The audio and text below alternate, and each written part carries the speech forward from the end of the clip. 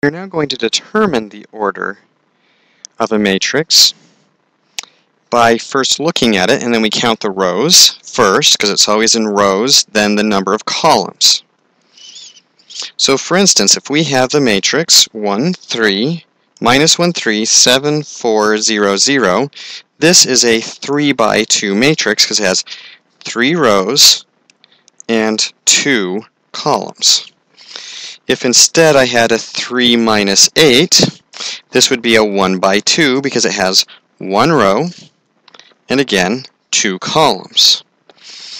If I had another matrix that was 2, hmm, 2, 1, 3, 5, and 4, 1, 2, 1, then this would be a 1, 2, 2 rows by 1, 2, 3, 4 columns, and I get a 2 by 4 matrix.